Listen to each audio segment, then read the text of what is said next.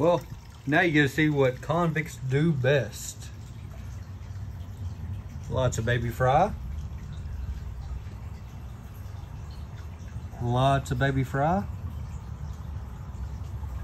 More. Lots of baby fry.